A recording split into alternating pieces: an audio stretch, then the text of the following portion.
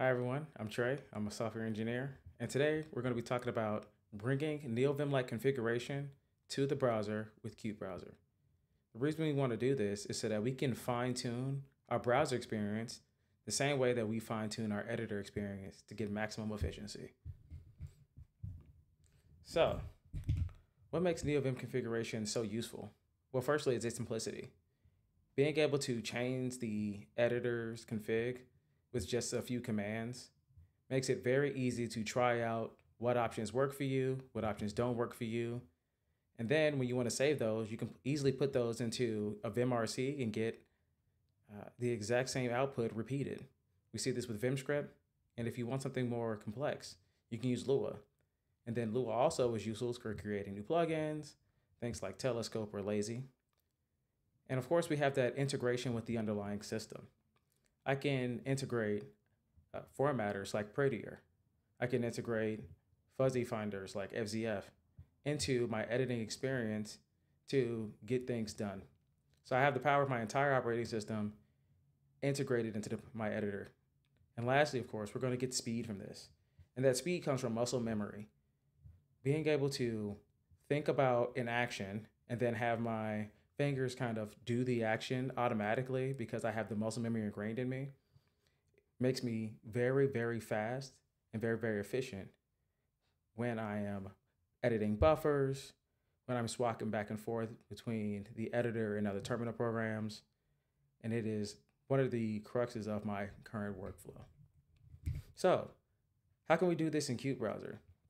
Well, firstly, Qute also has a command mode so that we can change configuration values on the fly as we're using the browser.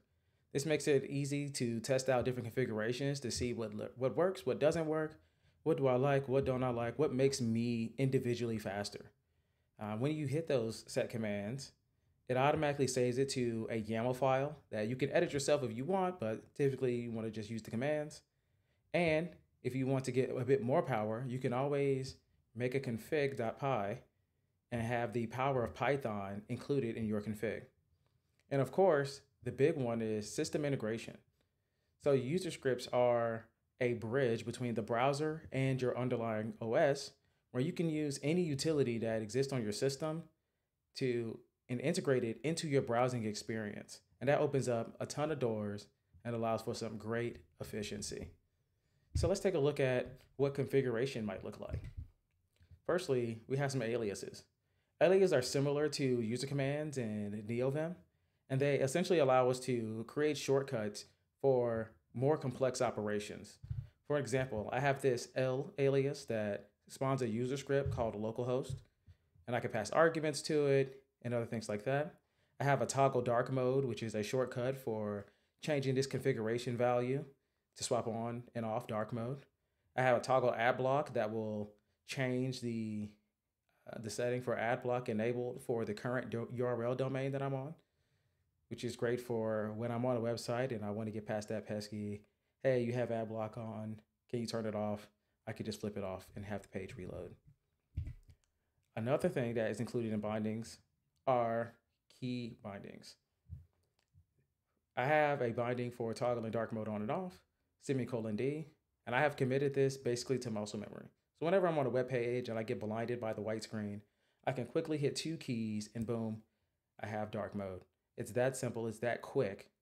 Uh, there are other conveniences that you can take advantage of because we have these bindings, like being able to yank a URL in markdown format, or I have another one that yanks URLs in Git format so that I can clone repos without having to copy the URL from the page. And then, of course, there's the common ones like uh, sourcing our config file. And now where the real power shows itself is truly in these user scripts, which again is a bridge between the browser and the underlying OS. And the way that these communicate is through a first in, first out. And all the information about the browser is given through environment variables. And I have a few here, for example. Qute HTML is the fully rendered web page HTML in a temporary file. Qute text is just the parsed out text. Uh, Qute mode is the current mode that the user script was called from. So for example, there's a visual mode called caret mode. There's normal mode, which is just the mode where you're scrolling up and down. There's hint mode where you're following a link or a reference to another page or a video.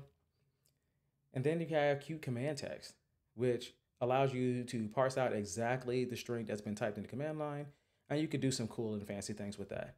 And today I have two examples for you of what can be done using these user scripts. Firstly, we have a simple example where we're going to yank the get formatted URL of the repo that I'm currently on. So often when I'm browsing GitHub and I'm on a repo and I'm like, you know, this is a pretty cool repo. I think I want to clone it.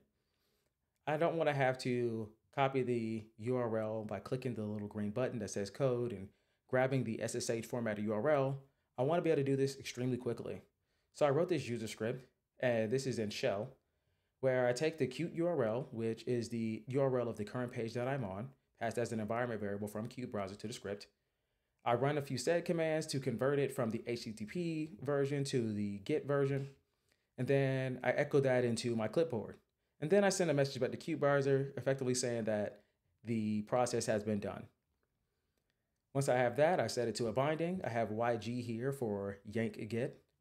And, and by just hitting YG on any Git repo, I, I now have the URL already copied to my clipboard and I can just paste it right into my terminal so that I can clone it. Uh, you could also get even more complex with this. And instead of having to copy the URL to clone it, you can make a user script that just clones the repo to a certain directory. Uh, having this level of power of being able to write your script in any language uh, gives you basically unlimited potential. A more complex example is this summarize script that takes the Qute text, that temporary file that has the render text of the page, and passes it through an LLM using Gollama, and then opens a new tab with that result. As you can see here, I, I make a new temporary file. I then pass the current text to a prompt that says summarize this web page. I then pass that through Pandoc, which the dash s flag will essentially give it a make it a standalone web page. And the LLM outputs in Markdown. So we convert that Markdown to a standalone web page. And then I have Qutebrowser open that page in a new tab. So this is great for when I'm browsing things like Hacker News or I'm just going through a news website and I just want the cliff notes to this really, really long article. I can bind this to a key binding and boom, I have a summary cliff note courtesy of the LLM right there in my browser. And I didn't have to install any extensions and I was able to utilize tools that were already on my existing system. So those are some of the ways that we can bring that NeoVim-like configuration to the browser. And that's all I have for you today. You can follow me on any of these places, and I appreciate your time.